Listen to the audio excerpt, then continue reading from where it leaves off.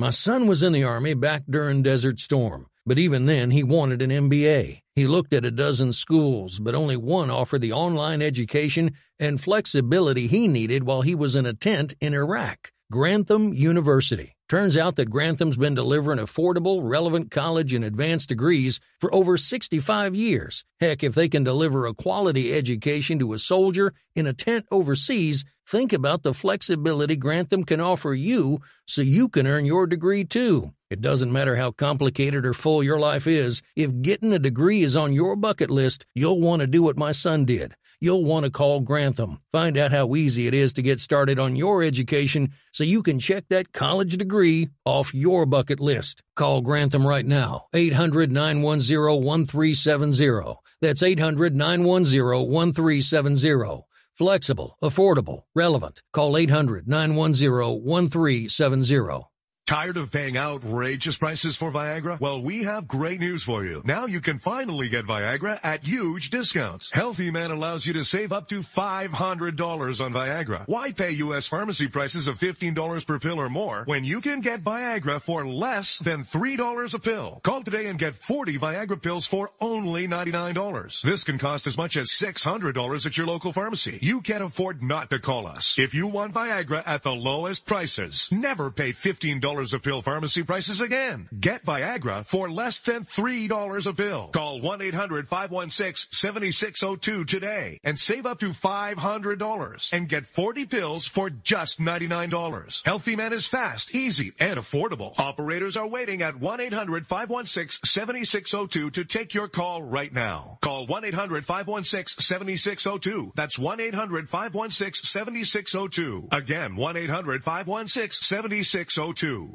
Attention business owners and independent contractors. This is a money saving message from Tax Mediation Services. If your business owes $20,000 or more in taxes, we can help you today, right now. Listen, dealing with the IRS is no picnic. It's an intimidating and extremely stressful process, and you don't want to go it alone. Our attorneys know every law, every tax break, and every possible opportunity to help you resolve and reduce your tax debt. And if you owe more than $20,000, you may be at the top of their hit list. So don't take your tax debt lightly because it will not go away on its own. The IRS can seize your bank accounts, your home, and even shut down your business. Call our tax experts today at 1 800 783 0810 and let us deal with the IRS while you focus on your business. That's 1 800 783 0810. Again, that's 800 783 0810. Thank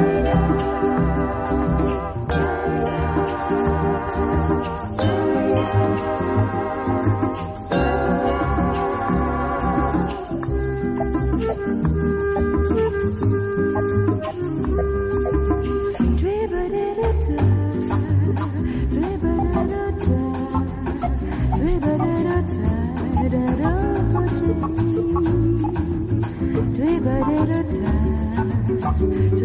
And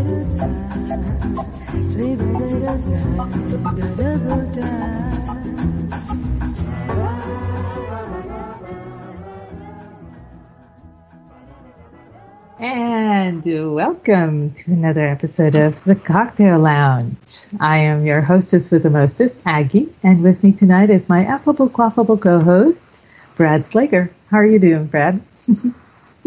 oh, I'm, uh, I'm doing pretty good over here. It has been a relaxing time. Oh, has it? Household. Yes. the family cleared out for the most part, and it has been calm and quiet. And I've seen the television, and I've heard the television, and it's been uh, it's been relaxing almost. Talk about a staycation. It felt like that here. Well, that's nice. I like staycations. I'm in a permanent one though, so I'm not that big of a fan right now. a downside to it because immediately after the program, I have to go and pick everybody up from the airport, which means I can't imbibe during our show, and it feels so wrong. That it that it's egregious. What? No, you mean I have to drink for you? Yes, you're drinking for two this evening. So I'm drinking for two. this ought to be good. yeah, you, you can barely handle for one, so it could be adventurous right I, now. I can't handle one for me. Much less two if you're involved. Just waiting for the moment of dead air when you hear that little funk on the Thud. desk and. Brad will be taking over for the balance of the program this evening. Actually, you may- you may not you may not you may not hear that because I'm actually in my in the boudoir section of my bedroom. So I'm on my little love seat, and I have Hmm. I'm very comfortable with my pillows around me and everything. So I might just fade away. there, there will not be any thud. then I'll listen for that other telltale noise in the background. yeah, the snoring. Yeah, you might hear that. I make no apologies. yeah, well, I'll I'll deal if I can. Yes, I'll Okay. I'll have to stay on point here. Be more professional than usual. Is what it comes down to, which makes me very uncomfortable. But Oh. Sometimes you have to sacrifice, Brad, for the rest of us. yes, this I have done. How about yourself? How's everything in Texas? Uh, it's pretty good. I am under the gun, officially. My girl-. Well, I have visitors coming. We're having a get together. It's it is uh, the uh, second annual Glitter and Beer Meetup, and my girlfriends are coming. You guys may know them from Twitter. Uh, I will be hosting Freedom Recon, and I'll be hosting Alaskan Courtney and our very own Velvet, who is still not back on Twitter, and it just Oh, breaks my heart. You're gonna have the banished velvet in the house, are you? Yes, yes, I am, and and uh, a couple of other tweets are coming as well. And uh, uh, one of them is at Dr. Dra- uh, Doubter. He'll be here as well, and um, uh, my friend uh, Irath is also going to come up. So it's going to be a full house. It's it's going to be a lot of fun. I, I, I hang on. I'm just scrolling through my different email accounts, and I don't, you know, I didn't didn't get any notice from you. Yeah, I figured you were busy. Oh, well, it, it. it, it has to be when your entire family can come. You know, I mean, because, and let's face it, if you're bringing Luna, I am keeping that kid. She's oh. mine. Oh, I am stealing this child. I- I- so it's not about me arriving; it's who I. no, bring no, it's it's about who you bring bring with. That's uh, just gonna tell you. That's gonna be a be careful what you wish for kind of thing. uh, she's a force of nature. That one. Oh, uh, you know it. Well, you know it. She's female. Yes. I don't know what to say outside of that. Half Hispanic and.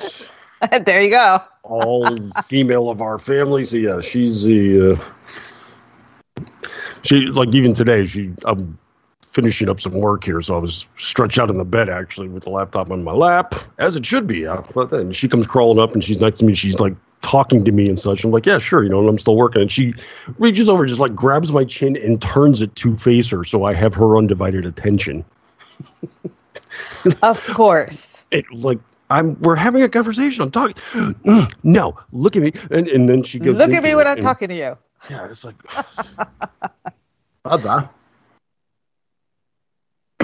But that's um, par for the course here.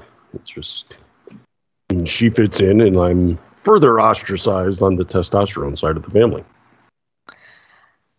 Yeah, but it's so worth it. I mean, she absolutely worships you. So you, you, you gotta admit. I, I don't know if worship is the word I would use. It's more of uh, sometimes I feel like I'm in her employ. Yes, but you're the right hand. You're the sole employer. Look, she is. She's your. She, she's got you wrapped around her little finger. I mean, just just own it. Mm-hmm, mm-hmm. I was just like cracking up today because I the mouse I was using was going south, so I had to quick, you know, order one and it just came in today too. So it was like, hey, she always loves going to the hub because we've got one on the property. That's where all the packages go. So it's like, all right, we're going to the hub. She's like, oh, package, package. You know, the thing opens up and she, it's like this little box, of course, that barely bigger than a mouse. And she's like, wow, this is mine. I was like, well, no, actually, I ordered. It's like, no, this is a Luna size box. It's mine. Okay. Too cute. Couldn't hold it, but had to wait for something else to distract her. It's like, can I get my package now? This is my life. Yeah, yeah, it's your life. Yeah, I, I'm sorry. I'm trying to muster some sympathy. I gotta dig deep, man. I gotta dig deep. I'm not even looking for sympathy, not expecting any. It's not going to happen anyway. So it's just, you know, this is what I do. But it just cracks me up because I mean, she's three years old and she's already like grasping what I'm doing. She's like, all right, I got to go, you know, fairly pretty soon. She's like, oh, are you working or podcast? Wow. Okay. I said, well, I have a podcast actually. And she's like, okay, well, I'm keeping your green highlighter. Oh. She stole my notebook and pen and stuff. And it was like, well, okay well, then. I'll, well, as long as I get it back eventually. She's like, mm-hmm, you know. Jeez. What are you watching where you pick up all this attitude? What's on Disney Plus that I'm missing? Son of a bitch. she cracks me up that one. well, that's nice. I'm glad that you have such a nice full life with her. She is so fun. so, when is your big meetup taking place? Uh, they start arriving on the 22nd. So, all of the guest rooms are ready, and unfortunately, the guys don't get rest. Uh, they don't get guest rooms. They actually get air mattresses in the den. Hmm. but you know, whatever. It, they'll sleep wherever. So, uh, but there's going to be uh, an extra dog because Aerith is bringing his his his puppy, so that'll be fun. Puppy. yeah, well, I know, right? Uh, his his uh, sweet, sweet, sweet little Rufus, and you know, I plan. There's we have a lake, so there's going to be fishing. Um, we have had reports of uh, feral hogs around the area, so there might be some hunting too. So, oh wow, yeah, it's going to be a lot of fun. I'm just going to stay inside, mind you. Sounds like it. Sounds like it'll be a blast. Sounds like everybody's going to have an extremely great time.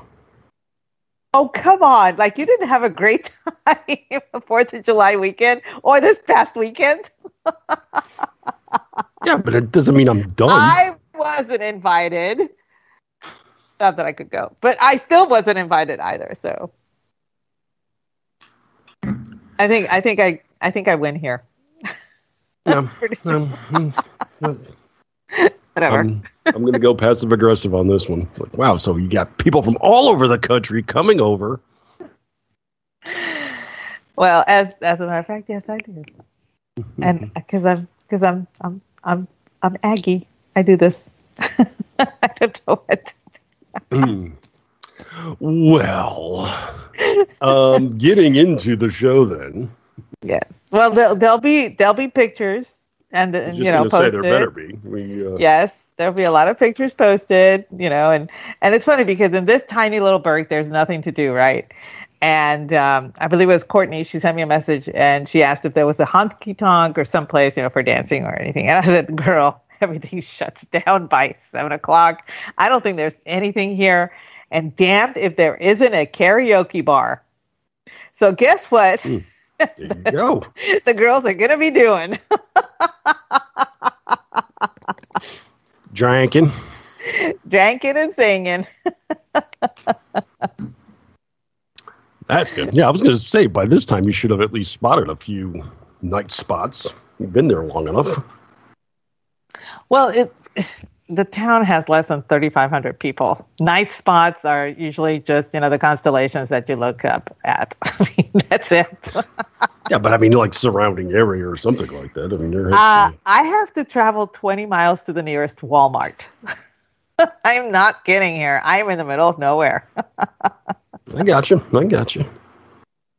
Like today, I spent the better part of the afternoon going to a liquor store and it took uh, it took about the better part of two hours to um, hmm.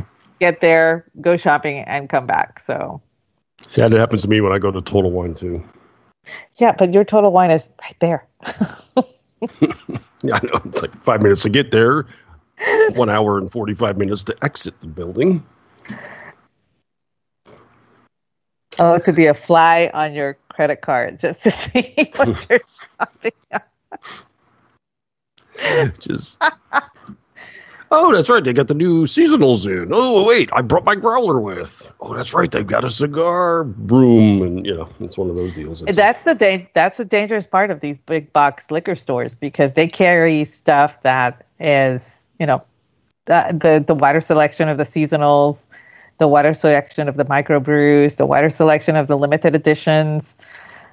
So you know that that gets you every single time. I should know. I have a collection of crystal crystal head vodka bottles because Mhm. every so often when they come out with a new one, I gotta buy it.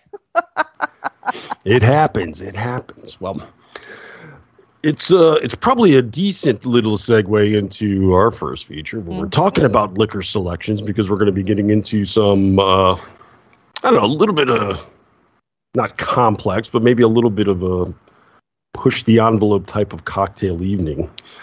How many did you come up with? I should probably ask first. Oh, I have two. Okay. I have I have two. I've got a handful, so we can uh, we'll see how it goes. But we've got a little bit of a theme going tonight because this is now you know we're in the heart of July. This is the heat of summer, and everybody is for the most part, with select aspects of maybe Southern California, allowed to go out and be ourselves again. And summertime is when everybody goes to the beach when that's available. And one of the other aspects of that traditionally in the publishing industry is when they release a lot of their blockbuster pulp novels in the summertime. Yes. This is when the hot paperbacks, some of the new drama releases, a lot of the uh, anthology series dramas, romance books, all of that comes out in summertime for beach reading and other. So it's kind of like the blockbuster season for publishing outside of the holidays. That's right. That's right. So, with that in mind, I thought it would be fun if we went down a little bit of a themed road of sorts and came up with some literary libations to go along with the reading. And as luck would have it, there's actually, speaking of books, one that helps us out in this very fashion called Tequila Mockingbird. that is so epic. Apparently, Aggie is a much bigger fan of puns than I am. I am I'm a big fan. I'm not very fond of them myself. However, I can't be Um, perfect, Brad. I just you know it's, it's just me. I, I aspire to a higher level of humor. Listen. I'm just saying for myself. You I'm you you be quiet. I'm saying it's incorrect or it improper. I'm Aggie- just saying Aggie it doesn't work for me. That's- you know how it it is. like I can talk. Look at my choice of films. Come on. They're the It's same not- as mine, Brad. it's not like I could be highbrow. I'm just saying it doesn't work for me. But the reason I bring up the book is what it is. It's uh, this is written by an author and playwright, but it's one that trends a little closer to our sensibilities here because it's uh, it's a book of cocktails that are book related. So it's just right in our wheelhouse. Yes. I'm a writer. I'm a drinker. Hey, somebody wrote a book on drinking and reading, but uh, his name is Tom Federling, and he actually has a couple of these out. Um, he's uh, basically got a literary cocktail sequel that's called "Are You There, God? It's Me, Margarita." and then Sorry. he also has a- sorry. I know. Get it out of your system. And um, he also has one that he put out that's more uh, cinema related with movies called Gone with the Gin.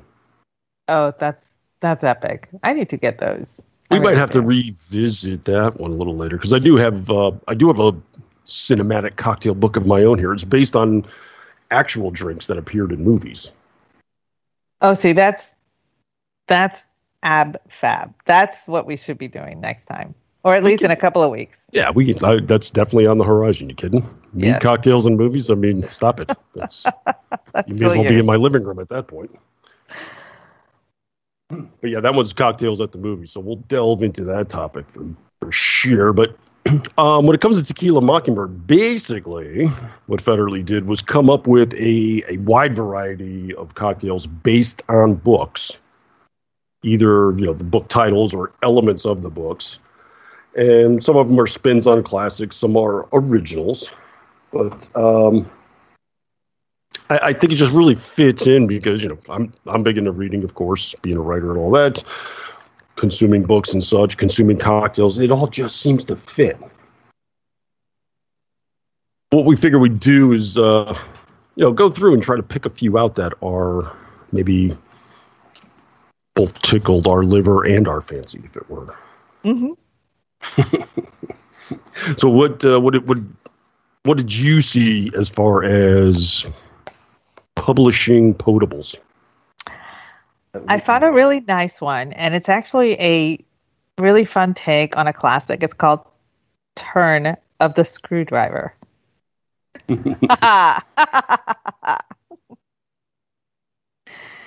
and um, it's uh, it's really, e- I mean, it's it's it's just a standard screwdriver, except you actually use blood orange juice and um, the juice of half a lime, and you get some like about five or six mint leaves and you muddle them and add vodka. So it, it kind of elevates the screwdriver a little bit with that mm-hmm. mintiness and and the lime in it. So it's I th- I thought this is this is one that I I've got to try like tomorrow.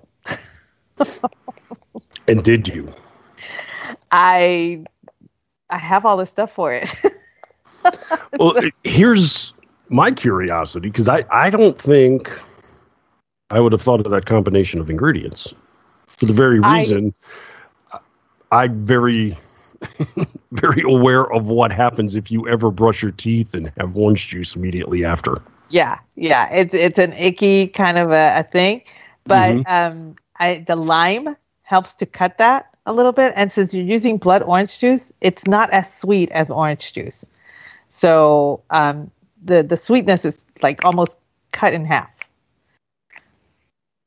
A lot of people think a lot of people think that blood orange juice is actually sweeter, um, and it's not. If you wait until the oranges are completely red, it's almost it's it's almost like marriage of an orange and a grapefruit. You know, the the, the sweetness is really really low. Okay. But you know, and if and if you're afraid of doing that, then you know, skip the mint. Just use blood orange juice though, because that I, I'm I'm a big fan of blood orange juice. I really am. I just I, I as soon as you said that I was like, wait, whoa, whoa, pump the brakes here because this has got a bad history attached to it. I know, I know. It's kind of like, uh. but no. If you use if you use blood oranges, the like I said, it's not. It's blood oranges really do not taste like regular navel oranges or anything like that. If you get them halfway through their ripening cycle and they're like partly red on the inside and mostly orange on the inside, they'll be sweet. But if you wait until they're completely red, it's almost like a grapefruit and not a ruby red, uh, a, a, a plain grapefruit. So it's it's more towards the bitter end of the spectrum. So Okay. it's not, you know, it, it will not, you know. But if you're still, if you still have that thing against the mint, eh, skip it. But you, Oh, no, I mean, you know I love- I love a mint in my cocktail. I'm just thinking of the OJ and mint combo. That's the that was a curiosity for me. So uh, I'll need you to report back before I delve into this. You know, I will. Just, just for you, Brad. You know, I will. Well, all right. I'm probably going to do the same as you then. and I'm going to, uh, I'll start off with one that's a spin on a classic as well. And this one, it's already catchy right out of the gate here Fahrenheit 151. Oh, nice. And what we're talking about here basically is Bacardi 151. Yeah. What else? yes. But this is a um, it's a little bit it, basically the best way to describe it is an amped up version of a rum and coke. But here's why: you're going to first off, you're going to be making this in a Collins glass, not an old fashioned necessarily, and you're going to go with four ounces of 151 and then here's the other twist four ounces of your favorite energy drink. And oh. then you're going to fill with cola. And what I think works here is Red Bull for me, it really tastes like Yellow Bull. So I opt for some of the other more flavorful energy drinks if and when I ever delve into such. And you've got a lot of flavor variations once you get into that, whether it's Monster or some of the other brands that have a ton of flavors. Then you can also start playing around with garnishes too. So okay. it maybe get something that's a little bit fruity, or maybe you could put like an orange wheel because that'll go well with the energy drink and Coke. And uh, yeah, I could see this both amping you up and hitting you Making sideways you crash. really quick. so if you're gonna be mixing this cocktail, make sure you got airbags and uh, like speed and quaalude. Okay. mm-hmm. Let's just say I'm intrigued, and uh, next time the family darts out of here this weekend, I'll probably be delving into something like this, uh, experimenting on my side. Okay, we we definitely have to like try all these out and report back next week. sure. which which were the winners and which were the losers. so, do you have any others? I have another one, and this one is this was actually really cute. I'm a big fan of Roald Dahl. You know, he wrote um, Charlie and the Chocolate Factory, James and the Giant Peach, and that's where I went with um, James. Uh, uh I'm a fan of Roald Dahl, but he wrote children's books to terrify them. They were not sweet, happily ever after, you know, sweetness and light books. I mean, he really was terrifying in everything that he wrote. But it was, but he he was a great writer. And so I found Shades and the Giant Peach instead of James. now, the reason it's called Shades is that you're using shades of rose gin to do this cocktail.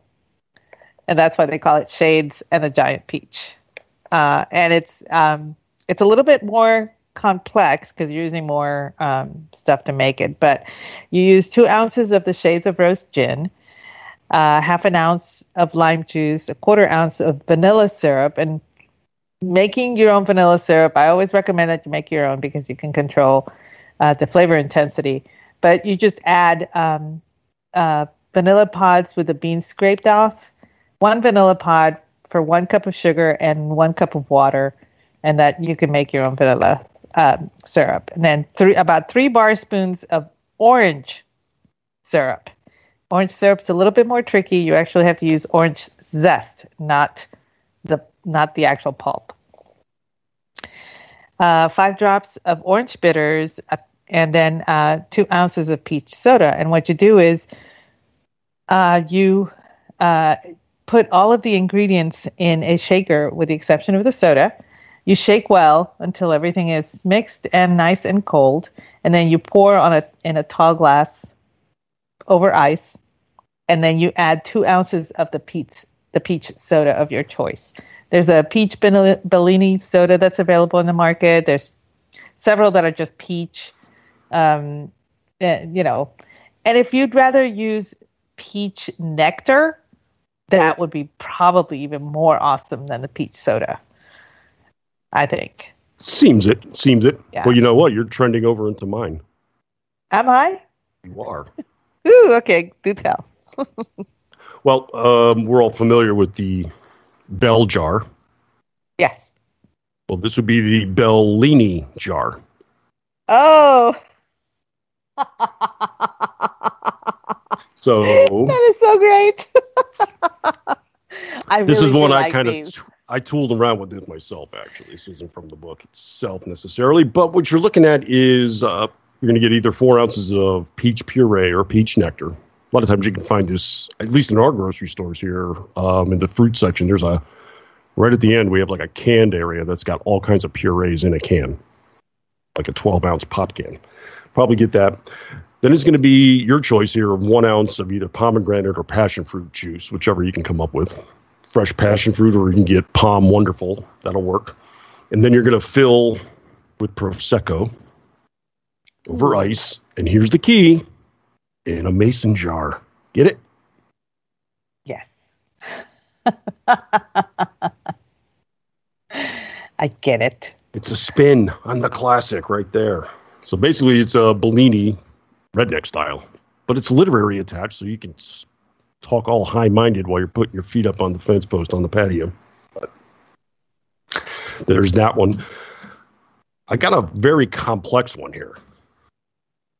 Not not that it's necessarily like wholly exotic, you know, like that E word we mentioned last week here, but it's a little more involved. You got to have a little more uh, ingredients. Are you familiar with uh, this? Is the old? This is based on the play, not a book, but Arsenic and Old Lace. Of course. More famous, the Cary Grant movie that came out. Uh, that's what more people even know about. That one was in the 40s, but this one is absinthe and Old Lace. Oh. I just happen to have a bottle of the real stuff in my stash. Ooh, well, then pay attention. I am. um, I've, I've never opened it. I will. I will disclose that I've actually never opened it. It was given as Oh, a really? gift to me when I was in Germany, and I've always been afraid of it. Wor- Probably- wormwood. I mean, just the the, the it's measure. called wormwood. I'm just like, okay, now. Well, you might be uh, you might be compelled here because uh, what you're going to do is get a shaker with no ice to start. okay. It's going to be one ounce of gin, one half ounce of absinthe, one half ounce of green crème de menthe, and then about maybe half ounce or so of simple syrup, just about as much half and half or heavy cream, and then one egg white. Ooh. Okay. So this will all be in your shaker. Now you're going to go hot and heavy with that thing for maybe about a minute. You want to build up a froth from both the cream and the egg white. Once you do so, then you're going to toss in your ice. Okay. Now you're going to give it maybe a good 30 seconds or so. You want to really get this chilled down. And then in a martini glass or maybe a coupe, you're going to go ahead and strain it. Once you do, you're going to get a nice little head of foam on it. And then you're going to top that off with some shaved chocolate. Oh. That'll be your garnish. Ooh. Okay. That does sound good. Do it not. Yes. It'll uh, almost be like a, a shamrock shake cocktail, but with a uh, deceptive kick to the back of the head that you're not anticipating. Yeah, this is. I'll probably pass out after the first couple of sips. They're telling me. But, um, yeah, this one sounds intriguing. I may have to acquire some ingredients to try this one out because the more I even thought about it, I was like, wow, that's like, yeah, hmm, okay, I'm on board. So there's that one. Do you have any others or tapped out? I, I I do have one, and I believe it comes from the Tequila Mockingbird book. And what, when I saw it, I I had to have it I, because it's just so perfect. Drankenstein.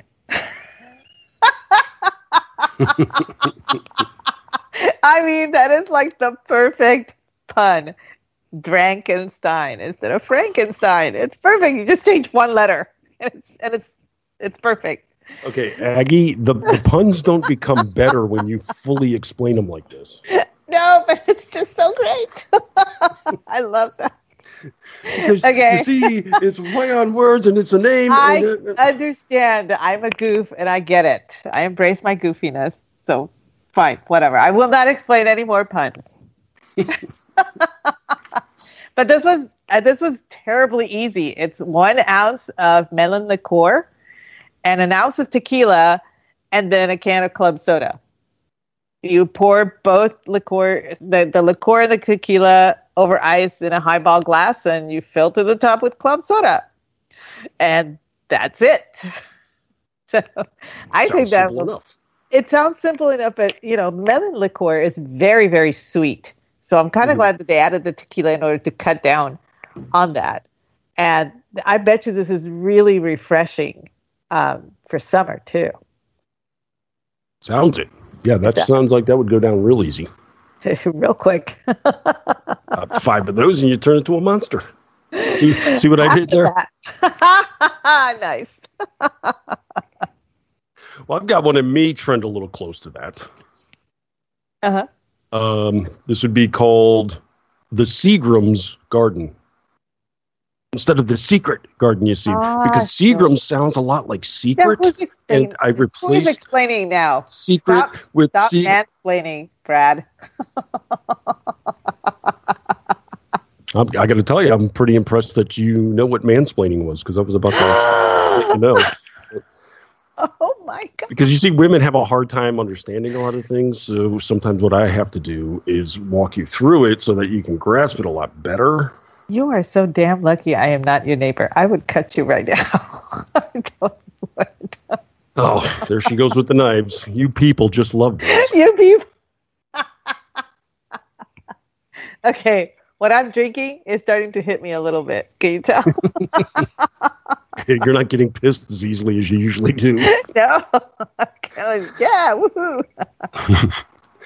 All right, well, for the Seagram's Garden, what uh, you could probably guess.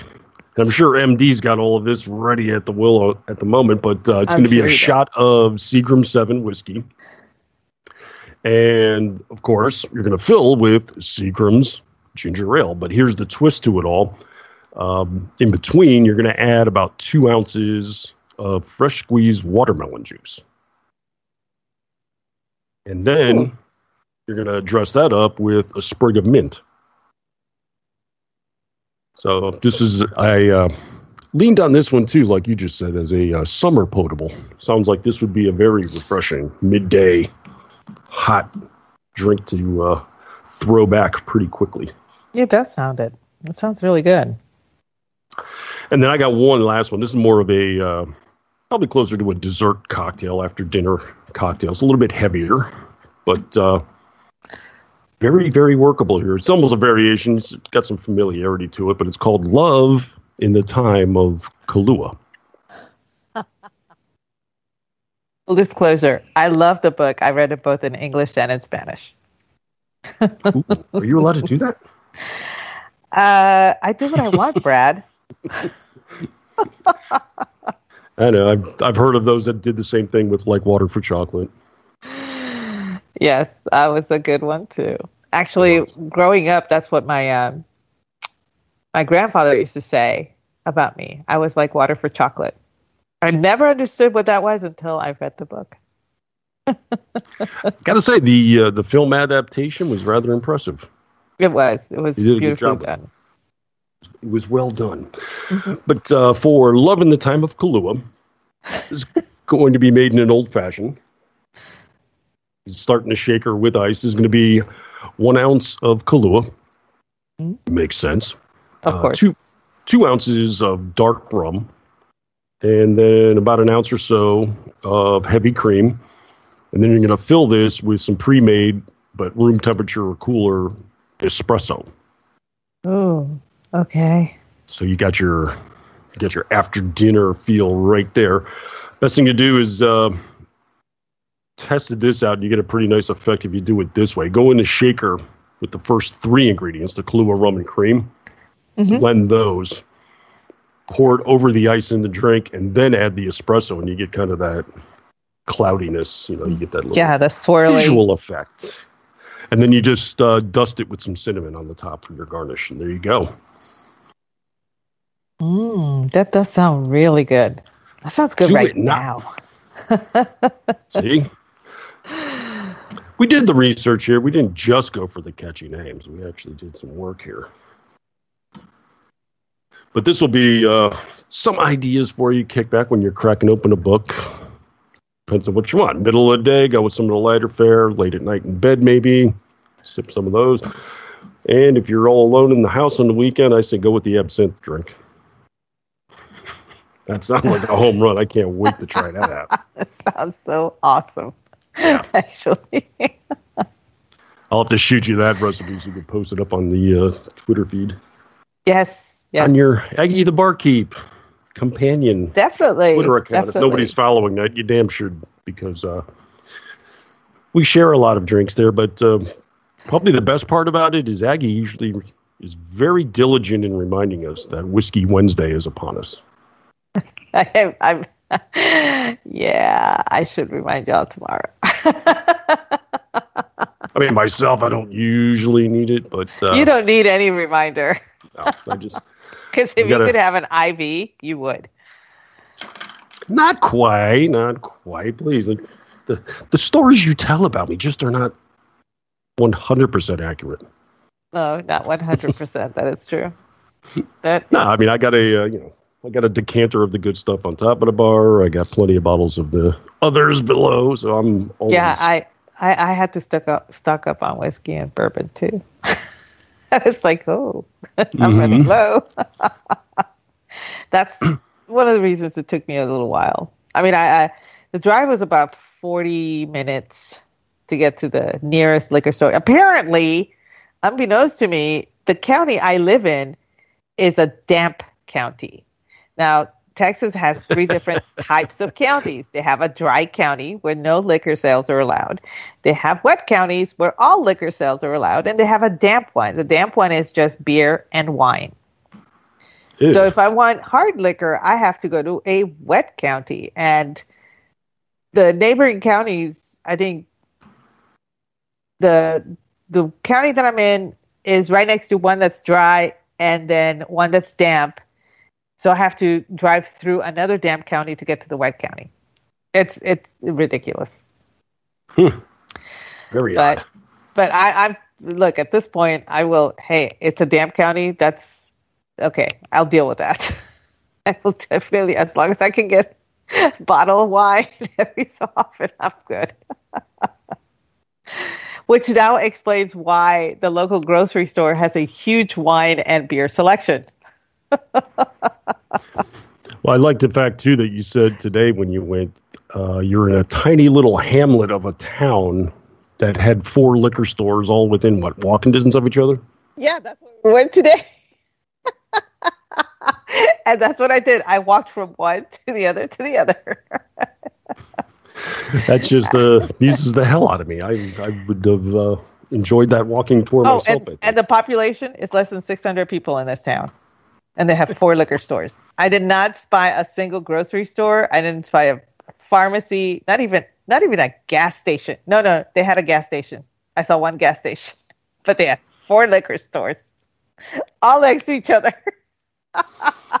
you know they're just drawing business from all these other counties. Oh, oh, they are. And the You are a, you you're a test case of that very thing. I I am. I am. And, and the thing is, you know, having shopped for liquor for a long time now, I got used to certain price ranges for certain items that are regulars in my bar.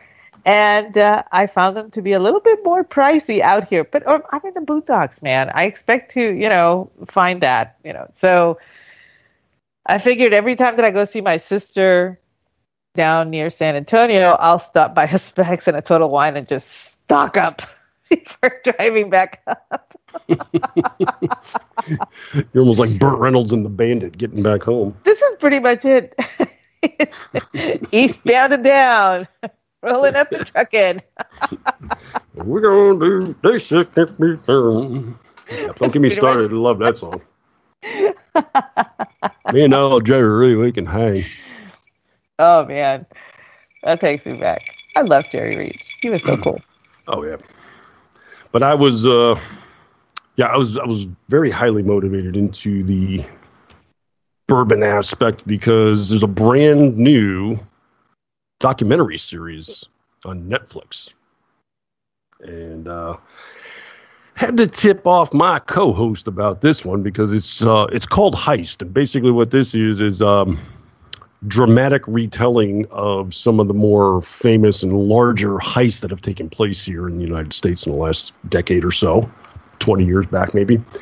And there was a a big $3 million armored car heist out of Vegas. There was a pretty audacious one in Miami, not in my area here, where they uh, they actually hit a monetary exchange warehouse at the Miami airport, made off with a few uh, cool seven million or so. But the one that really caught my eye was the one centered around the Pappygate scandal. Took place right there in Louisville, that's in Kentucky, right not only in the heart of bourbon country, but the very aorta of it. Centered mostly at the Buffalo Trace distillery itself. And if you're not familiar, this was a really large theft of cases and cases of extremely expensive and rare Pappy Van Winkle 20 year old bourbons. Yeah, I was, I was, I was, I watched the two-parter, both mm. um, both episodes, and I was quite impressed at how this guy managed to build such a system, a distributorship, if you will, from his contacts, you know, from people who wanted all this stuff. And I'm going, I, it, it's amazing to me because it's not something that you would think of doing just randomly like that. Like, like one day he just decided, okay, I have a bottle of this. You want it? And it just built up from there. I'm like, mm-hmm. it was, it, I mean, it was, because I've always wondered, how does one get into something like this? How does one get into making a uh, such a network of you know getting stolen goods and trafficking them out to other people in the same place where you're working right. and not get caught. well, I mean, I, I I could connect a little bit to this because I worked at the Budweiser distributorship down here for about five years, and I'm kind of familiar with you know some of the inner workings and how some of this stuff could take place. Um, a little bit different in our area, but yeah, this this centered around an individual. Now, this wasn't like a, a single event. It wasn't like, you know, hey, we're going to go over there and hit the distillery and take them for everything they got. It wasn't one of those at all. This is a guy that worked there. He was. And he built it up through years. Oh, yeah. and, for. He worked at the distillery for quite a while, did a variety of different things. Uh, he was in the shipping department for a while, got into processing a little bit later, things of this nature. And really, what happened, I mean, if you're watching it a little bit same intensity I have, but he was amazed at what was going on in the outside world regarding the product he dealt with every single day. You know, like for him, even their their high end labels and stuff were not a big deal.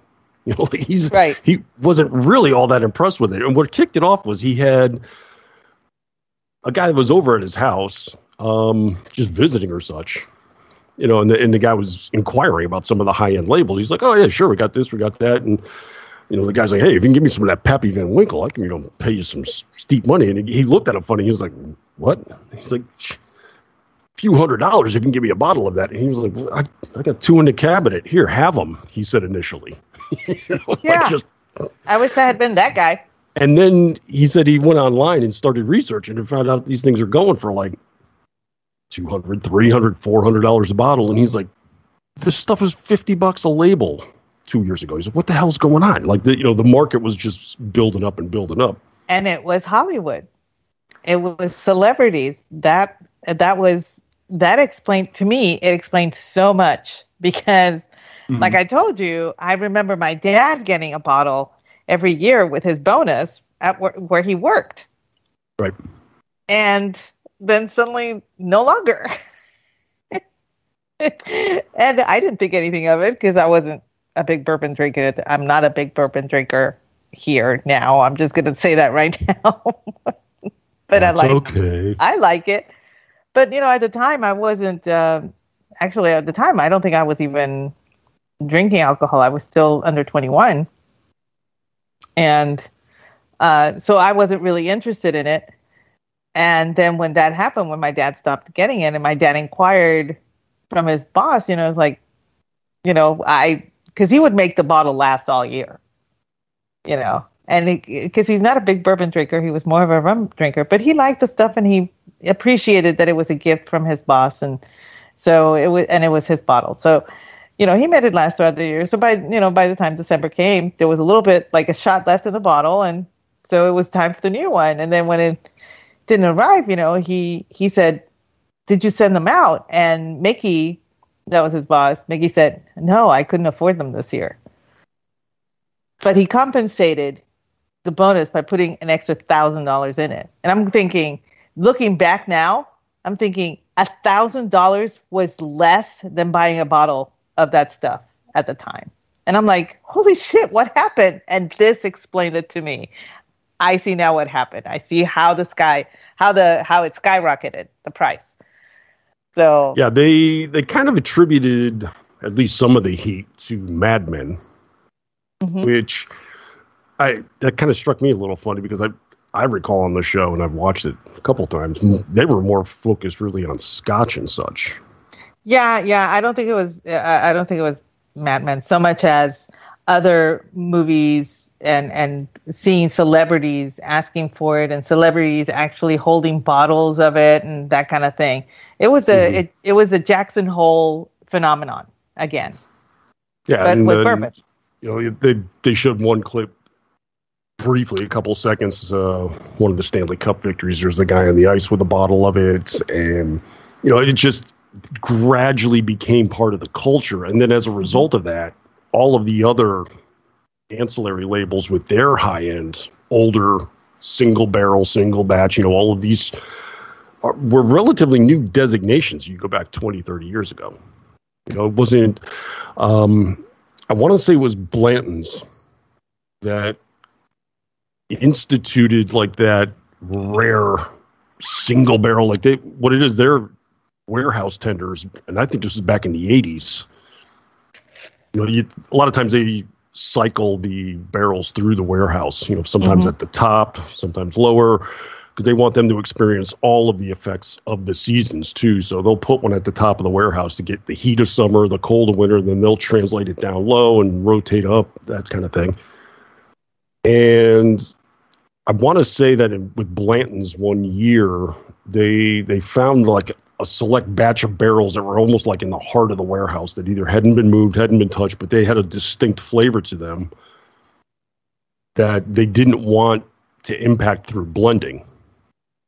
And this really wasn't a marketing gimmick so much. They just, you know, when they tapped it, they were like, wow, this is really good. Let's not impact this by, you know, mixing it with some younger four year old blends or anything. Let's just go straight from the barrel to the bottle with these preserve that flavor. And then that became very choice in the marketplace. Single barrel bottling kind of thing became a elevated stature within the bur- bourbon community. And then on top of it all, once these graduated elements became appreciated, bourbon became a hot commodity overseas because they have a designation like bourbon is specifically American. There's very uh, specific mandates to it. Now, it's, you know, it's not like a limited recipe, but you know, your mash bill has to be 51% corn or more.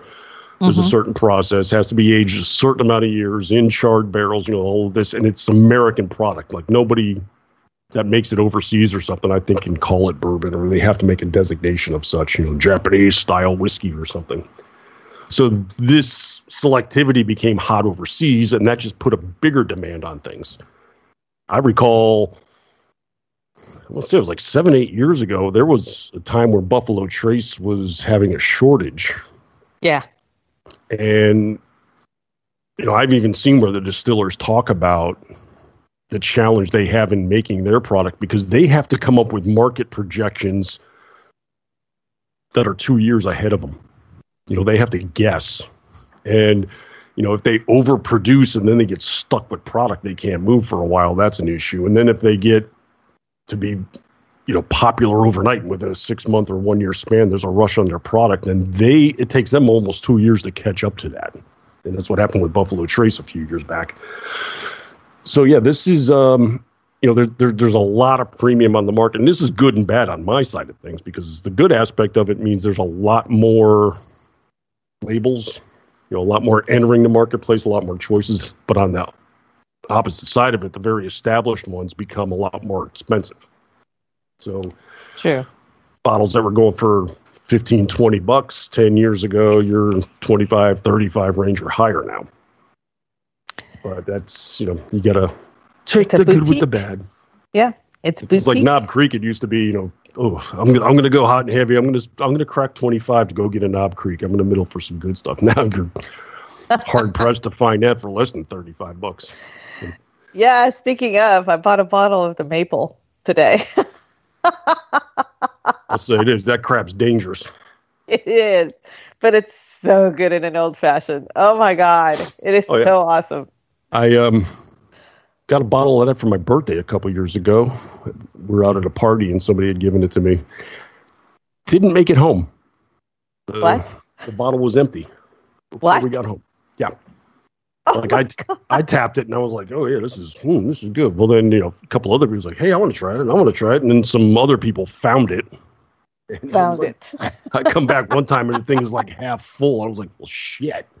So now I got to walk around with this thing in my hand, and of course I'm sipping it, and then people wanted some, so I'm you know cordial enough that I'm sharing, and yeah, number of us got a little got a little sideways, and then uh, had to recycle the bottle before we ended up going home.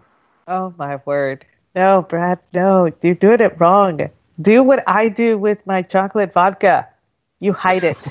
I was out of the house. Okay, I was at a remote party. It wasn't, you know, I didn't surely, have these options. Surely you could put it back in the gift bag. oh no, there was like a side room where all the presents were at, and then you know, I had it there. And that's when I started Ugh. sipping it, and then I go back an hour or two later. I was like, this shit. Either this thing's evaporated or people found it. Exactly. You should not have opened it because as soon as a bottle is opened, it is a free for all. That's a rule at a party. The bottle's open. Let's go. well, I mean, you know, it's it's my birthday party, and I got a bottle of bourbon, and I'm not going to open it.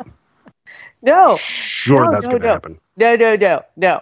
But okay, here's the thing. When I had when I turned 50, my sister gifted me a bottle of uh, it was some kind of liquor.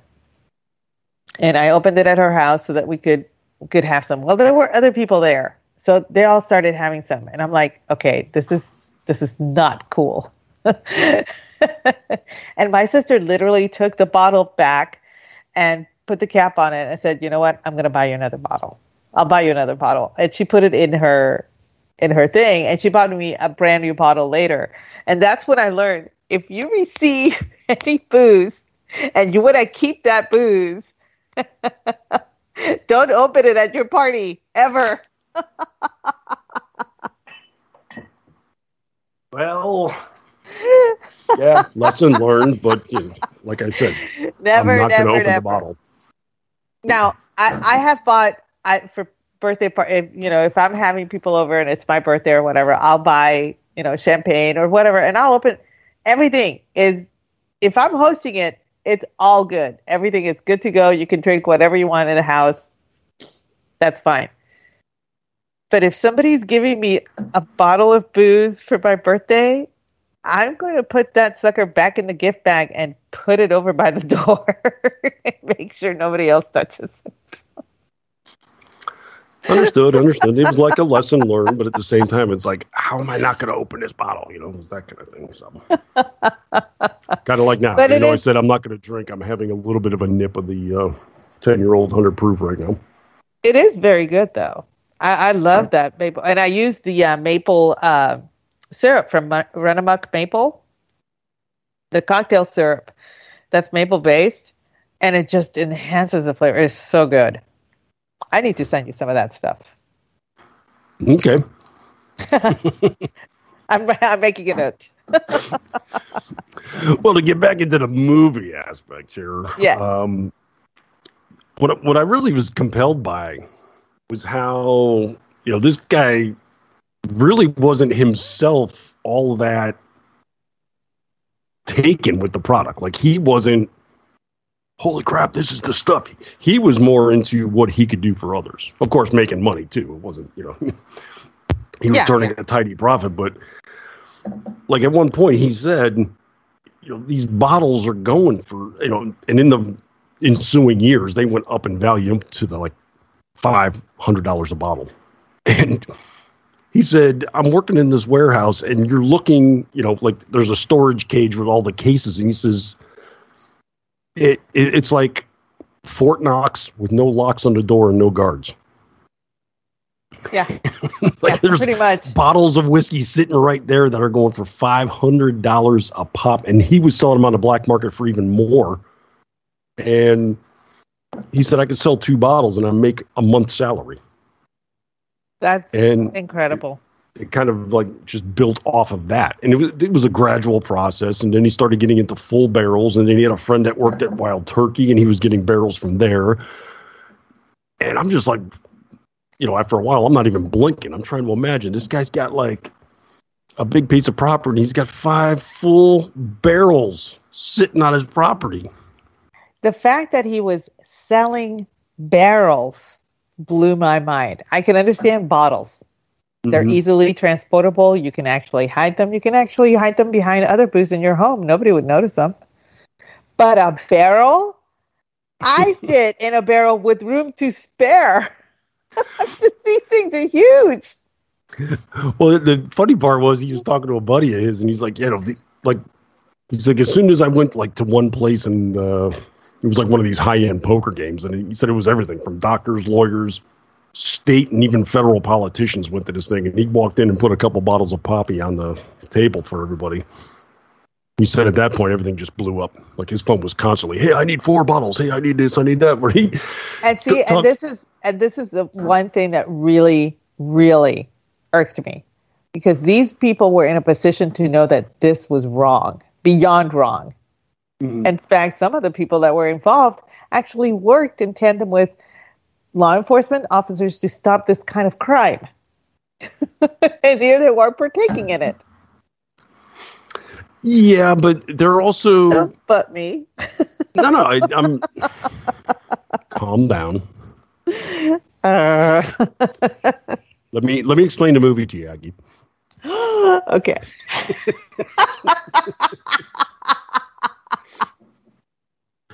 No, what I was taking away from it though, it, it, wasn't necessarily a good old boys network, but it was kind of like uh, you got a sense that this was kind of the culture in Kentucky. It was like accepted. they they all just kind of like you know worked with each other and stuff. And it was you know the cops were it, it, I can't even call it corruption because it was more of like you know their their the friendships that led to the business dealings were what they were focused on. You know, because almost everything that they were dealing with was with people they either knew or were connected with, you know, through somebody else.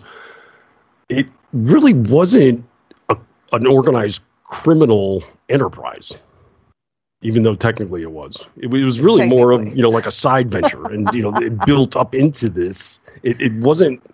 You know, they didn't sit down and plot this. It just built up around this guy. Like once he started doing it, more and more happened. Like he reached out to a buddy of his that Wild Turkey, and he's just like, "Yeah, I got a this guy asking me about barrels." And you know, he was just inquiring. He was like, "What do you what do you think the chance of getting a barrel would be? How how would we do that?" And he's like, "If I can get that to your house tonight." it was like that quick. Yo, you want a barrel? I'll get you a barrel. You want a toe? I can get you a toe. I just, it just blows my mind. The whole barrel thing just blows my mind.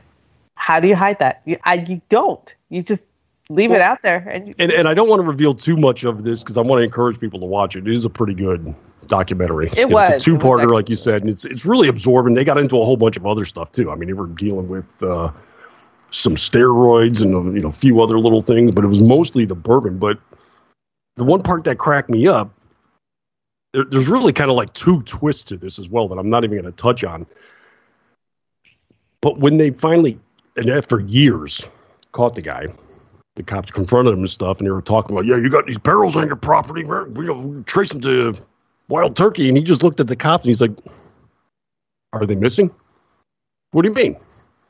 Like, well, are are the barrels missing? Did they report that they were missing barrels, Did they report them stolen, and the cops are just like befuddled. They were like, "No." like, well, so technically, it wasn't stolen goods. he said, "Well, if they're not missing and they didn't report it, how are you charging me with anything?" you know, it was like, this is how loose, I guess, everything was, at least at the time.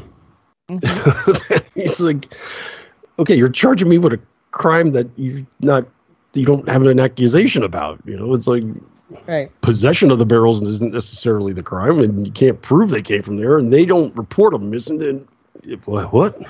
so that that was a, a funny angle to it all. But this this became like a massive case, like worldwide, because that's how big bourbon became.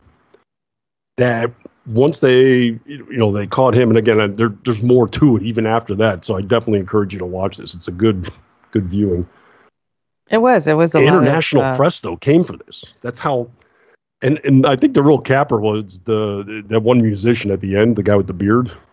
Yes. You know, and he was just like, he's like, and they're calling this like a heist and everything. You know, he was another one. He's like, this, it's it's bourbon. What the hell? You know, kind of was his attitude.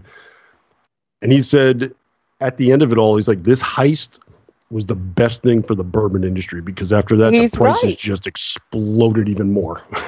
he's right. This did more for their bottom line than anything uh-huh. else. I oh, mean, oh, yeah. and and you can and you can if you go back and you start tracing the prices of you know everything at Buffalo Trace, everything, you know at um, all of the distilleries around there, Wild Turkey, you know everybody, you can see after his um, the conviction and everything that the prices just started going up and up and up. I mean, it, it before it was a steady rise, then it was just this spike because people started noticing Kentucky bourbon in a new light. Uh, Kentucky bourbon is is it's completely American. It is it is it's ours, and people not just in the United States started noticing it. I know because my uncle in Puerto Rico tends to gift that. I mean, this is the guy that drinks his own moonshine and prefers that. But when he's giving a gift, he always goes to Kentucky bourbon. And it's and you know and and it's funny because you would think, oh well, it's an American territory and everything. Yeah, you still have to import that stuff, mm-hmm. um, and it's costly. Oh yeah. I mean, what I paid what I paid for the bottle of Knob Creek Maple, I think over there wouldn't. I think it would maybe get me a fifth of it. I mean, if that. I mean, it's just it's insane how much Kentucky bourbon costs over in Puerto Rico. And it's not just oh, no, you gotta, I know people in Mexico that do the same thing. Yeah, you got to deal with the shipping. You got to deal with import in sizes, and it's just. Yeah. It's kind of the same thing with Hawaii too. I mean, you go over there, like milk is oh astronomical because they don't have enough farms for the dairy products, so to ship milk over oh, there. Oh no, no, no! I found out. I found out why milk is so expensive in Hawaii. There is a law that all milk must be processed on the mainland. So all of the dairy over there has to be shipped to California, processed in California, and shipped back. When mm. I when I was in Hawaii in '95, a gallon was five dollars. Yeah. And I'm like, that's 95. Okay, that's in 1995. A gallon was five dollars. But on Molokai, it was 250, and people were trying to figure that out. And like, because Molokai is like the welfare island. Most people that live there are welfare, are on welfare. So um, people are trying to figure out. So why is it only 250 over there? and how do I get on welfare? And, you know, basically. But yeah, I would uh, I would definitely recommend this one. It's a good uh, it's a good watch, and it's going to make you thirsty watching it. So check out uh, Netflix. Yeah. It's called Heist. It's uh, I think it's actually like a three part series. They got three different major crimes, but uh, this one's right in the middle. You'll see it. It's obvious. It's a good watch. Couple hours. I uh, I was taken by it. it was it was uh, uh it was fun to, and, and and you know what I felt myself getting on the edge of the seat and inching forward a lot. It was almost like a telenovela for me. you know, it was really well done. I was quite impressed. Most most of the time, documentaries can be rather dry. This one actually was very engaging, and and, and the people that did contribute, that allowed themselves to be uh, interviewed for it, were very engaging too. Like they were they they weren't speaking to a camera off to the side. They were speaking to the camera that was related. So they were looking at you. Mm-hmm. So they were talking to you, you know, and how the the uh, the Miami heist one is kind of like that as well. Oh yeah, that should be fun. That's next for me. I, I recommend that. that one. The Vegas one was it's like half good. The other half is like after the fact and like uh, it's uh, the Miami one was kind of cool. okay. Um, well, there's a little bit of intrigue on the dessert side of things. I know. You know, because uh, this is the Joe know. Biden administration, and I got to be honest, I'm a little. I, I, feel a little off balance or something. It's been about a week, week and a half. We've not had an update on Joe Biden eating ice cream. I, I feel bereft to tell you the truth. I I can't I believe this so has lost. been a regular story. Like, I don't get what it. flavor did you get, Joe? Uh, chocolate chocolate chip. Yeah, like the press is cheering his ice cream selections. I swear to God, it just baffles and slays me. And this is our this is our press grower in America now. Hey, got Rocky Road, everybody! Yay! you jackasses. But um, on an international level, Ben and Jerry's, as you may know, is a little bit of an activist ice cream conglomerate. I think they yes. didn't they sell out to Unilever ultimately. I think so, but I'm not sure. One of, one of the big guys, but the uh, the two hippies are still involved in the company. Yes, they're still figureheads, and they're still very activist. Very, yeah, they're. I, I believe yes, you're right. They are. Their parent company is Unilever. Yep. Ironic. the irony is so rich, I can't even. These these hippies that can't stand corporate America and the multinational corporations sells out to one. yeah, that? yeah, that that, that was that was so great. And they're best friends with Bernie Sanders, who has three homes. Funny. And a lake house. A couple parallels I'm noticing here. It's just you know, the socialists are getting rich somehow, but the um, yeah, the two namesakes, the eponymous pair of ice cream makers, decided that they wanted to take a stand. They don't approve of what's going on in the Middle East, specifically with Israel and their occupation of the Palestinian homelands. This is dastardly.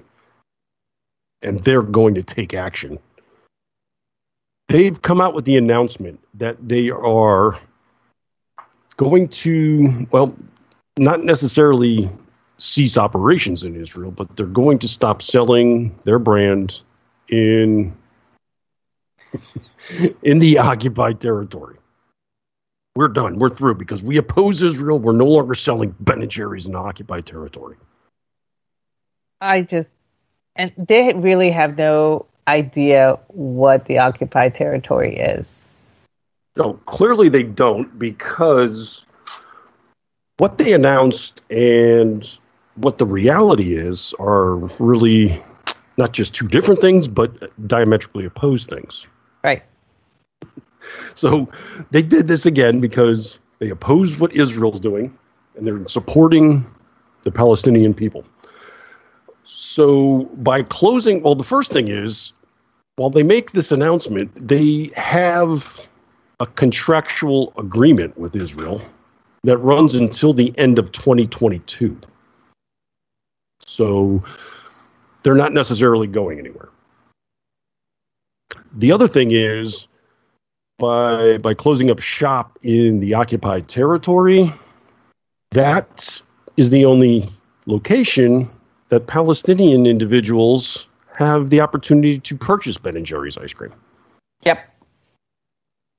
So yep, the people yep, that yep. they are vocally supporting will now be cut off from the only means of getting their product. All the while, they're still going to be doing business in and with Israel. Israel. They said they oppose. Uh, what the hell? I mean, you know, it, the virtual signaling from Ben and Jerry's has has always been. I will give them this; it's better than most. It really is. They have been trying to get out of the occupied territory since I don't know years. But the thing is, they sold out to Unilever, so they no longer call the shots. Well, not only that, but Unilever, through other operations, sells a crap ton of ice cream to the Israelis, like mm-hmm. in bulk and such. Like they, oh yeah, basically make it for Israeli products or companies, and they relabel it and rebrand it, what have you. But basically, Ben and Jerry's hasn't done anything here. They haven't impacted anything. They haven't accomplished anything except preventing the people they claim to support from getting their product. Everything else is pretty much status quo. like they're not hurting Israel in any fashion. No. And, and, and and the thing is, let's face it, sometimes what Ben and Jerry's puts out is actually can be offensive to Jewish people. So for me, I don't think that this even if even if Ben and Jerry's decides to, you know, come out on top with the, against its own parent company because they have a really weird licensing agreement with Unilever, as I understand it.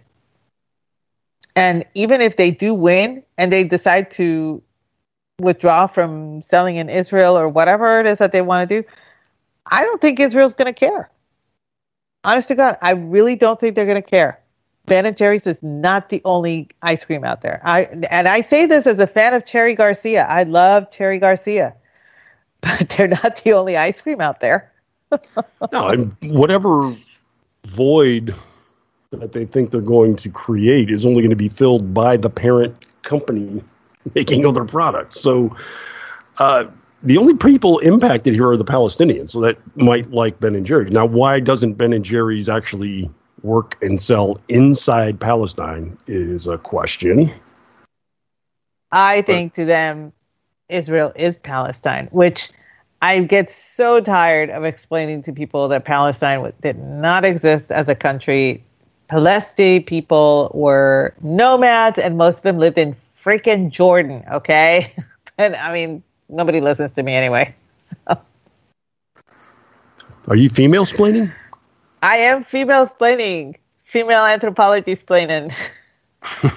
I think I think this rum is hitting me a little bit. but no, but it's true. Palestinian people never had a homeland as defined by uh, as a nation state. They were nomadic people, and most of them lived in what is now the Kingdom of Jordan. I want to say about sixty-five percent of what the Kingdom of Jordan is, is where Palestinian people lived most of the time, you know, when they weren't, you know, roaming other areas of uh, the Middle East. So for them to say, oh, this was their homeland, you know, when there is historical basis that refutes it all over the place, it's just, it, it, I would laugh if it weren't so tragic, really that because it, it, seems like the one thing that the UN did right in its glory was to help establish the nation state of Israel, and now the UN is its biggest hater. you know, it's just the most ironic thing ever. well, as soon as you get into the United Nations, you're you're forget it. Yeah, yeah. Logic doesn't apply. So yeah, the. Uh, the do-gooders at Ben and Jerry's have managed to do very little outside of, uh, yeah, they kind of put the screws to the people that they're claiming to help. Yeah. Well, because I do got to scoot. We do got to wrap up here fairly soon. Yes, yes, we make do. an airport run, but we got one last vital story to cover. it kind of um, cracks me up because in the last, I don't know, three weeks, last month or so, regarding the Olympics. I've not heard anything positive come out of the news regarding the Olympics. The only thing positive that I heard today was that Tokyo is still thinking that it might cancel them completely simply because so many of the organizers have come down with uh, COVID. wow? I know, yeah. I know, like, like- they said that today, and I'm like, seriously? Just skip it. Just skip it. Just cancel it. Let's just go to 2024. You know, forget well, about it.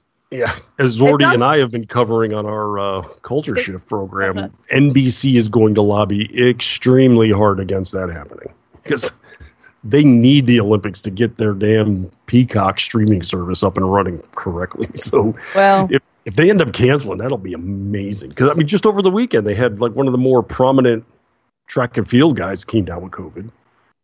and and you know, it's not like they're going to have live spectators. That's out. Yeah, they got rid of just going to be spectators.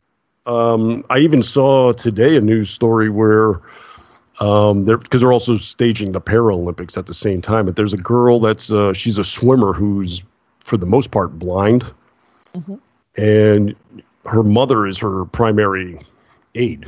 You know, when she's at events and stuff to guide her and get her on the podium, things like that. And they said, no, you have to have one of our formal people. That we, you can't have anybody else. So she can't participate in the Olympics because of that.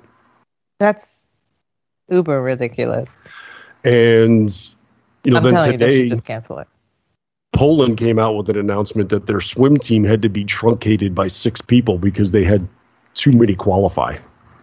Like it was an accounting error. Oh shit! Like they, they had something like 23 people on the swim team and they recalculated are like, oh, we, we're only supposed to have 17. so like they had to ship six home today.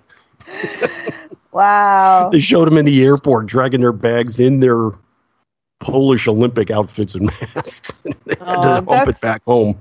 That's too bad. They should have just left them, let them stay. I mean, But it's like, what? Eh, do we have any good news happening? This thing is a No. complete fiasco. no, it's it's a complete fiasco, and I'm all for postponing it until you know making instead of Tokyo 2020, it should be 2024, and then whatever had been picked for 2024, just bump it up to 2028. I'm fine with that. I mean, uh, I, I it used to be that you would pick like two or three out in advance to give them time to uh, you know get shit together or whatever but as i understand it now you just pick the the upcoming you know like once they announce who two, 2024 is going to be they pick the next one so th- it's only that much ahead it's not like five or six olympics so it's i'm just, all uh, all of it's a mess. All you know. I- I'm all for just canceling this whole shit show and just waiting until 2024. But I, I don't think they will. I don't know. They might. I mean, this is Japan. you never know. They're, I don't think Japan's hurting for money. so, no, but it's just the when you draw. I mean, you're talking. I'm sure billions went into this. You know, new think- arenas and construction and infrastructure and all kinds of crap goes into this. So yeah, but you know, the Japanese losses. are very good about reusing and recycling what they had before. And uh, as you recall, they had hosted the Winter Olympics uh, some years back, and they were using some of the stuff from there to for for this.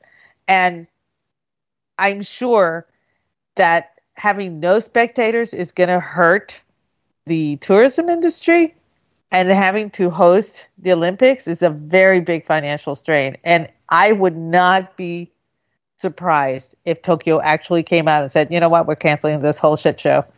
See you in 2024. well, this is the story that caught my eye today. Uh, it was floating around that because of COVID, the organizers, you know, they're striving desperately to keep people separated, keep them segregated. Well, one of the problems is in the Olympic Village, traditionally, the place basically turns into a casual orgy, let's say. Like, the athletes just go rampant on each other apparently. Like I, I remember a few years ago or a few olympiads back i don't know they made some like grand announcement that uh, oh they're providing 25000 free condoms to the athletes. And they ran out like halfway through the olympiad. It was just apparently they go at each other like animals at these games. And supposedly the organizers were trying to limit this. They didn't want the athletes to commingle in such a fashion. And so what they did was set them up with beds in the living quarters that are made out of cardboard so that they couldn't have sex in bed.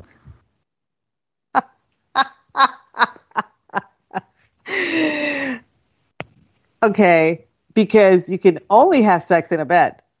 Well, yeah, I mean, if you, you know, have the atmosphere taking place of a frat house with Spanish fly coming out of the sprinkler system, then I doubt people are going to say, "Damn it, I just I got to get a piece of you." Oh, that bed's going to collapse. Well, nice oh, meeting so you. Maybe we'll that. meet up for bagels or something tomorrow. No. You're going to go rut like animals somewhere else on the ground in the shower. You know, you'll. It's going to happen. Let me just. Say. I was going to say, I don't understand why. Uh, remove the bed coverings and put them off the floor. yeah, just. Dang it, we're stymied. What? Whatever are we going to do? That is just the most ridiculous thing. Well, it, I, apparently it is the most ridiculous thing because a follow-up story came out from PolitiFact. They have actually debunked this story. I oh my god! I, I love this. This you know because one of the main things I'm doing now is covering the media on a daily basis over at Town Hall and covering the fact checkers as part of that. This outfit is called PolitiFact. PolitiFact. As yes. in politics. Politics and social issues. Uh, not athletes screwing their brains out in Asia. Yet they've occupied themselves with this story, and their diligent fact checkers have actually dug into the story and found out that's not the case. The concept behind the cardboard beds is that they are therefore recyclable. And in fact, the company that produces these had a contract with the Olympics in place to provide the beds before the pandemic even arrived. So, ah, okay. Yes. Yeah, so, so the the the Japanese officials were not acting like the city council from Footloose. cardboard beds. Okay. Well, that's good to know. I'm glad that they had this had been in play well before the pandemic hit. Yeah. And you know, a cardboard bed, a fully recyclable item, that's actually kind of cool when you think about it. It cannot possibly be very comfortable, but whatever. Yeah, there's actually there's a video of a gymnast. I want to say he was from Ireland or something, but he was he was actually taking a video of himself jumping and doing calisthenics on the bed to prove that it could hold up under such rigorous treatment. Nice. I guess so. Uh, now we know. Yeah. So so yeah, the the no sex bed is is false. It's been it's been fact checked, and this is untrue according to PolitiFact. So there you go. Well, all right. I do got a scoot here. I have uh, I have yep. prior engagements I have to attend to. Yes, you do. So where can we find you, Brad? Well, as I just noted, I'm on a daily basis over at Riff. Uh, Riff from the Headlines is the name of my column over at townhall.com, where I mock and make fun of the media on a daily basis. Also, I do some regular pieces at RedState. I'm occasionally seen at Twitchy, and I'm also on this very network Thursday evenings, 8 p.m. This week, I will be doing Disasters in the Making with my friend and partner Paul Young from Screen Rant as we dive into some bad cinema, bad movies, and we're going to be covering a uh, M. Night Shyamalan classic this week. Give you a hint. Um, stay out of the greenhouse for your own safety. It's just my little, my little teaser. And then beyond that, you can find me on Twitter on a pretty regular basis. I am at Martini Shark. How about yourself, Aggie? Where where are people going to find more of you? Well, you can find me at Aggie Rican and at Aggie the Barkeep. Oh, that's the uh, cocktail account over at Twitter. You can find me right here Tuesday nights 8.30 p.m. Eastern doing the Cocktail Lounge with uh, my affable, quaffable co-host, Brad. That's you. And on Friday nights, 8.30 p.m. Eastern as well, doing He Said, She Said with my wonderful friend, Mickey Blowtorch. Thank you guys so much for joining us, and we hope you have a great evening. Go fly like the wind, Brad. yes, I will go depart. As for everybody else, go grab a glass and look at the ceiling.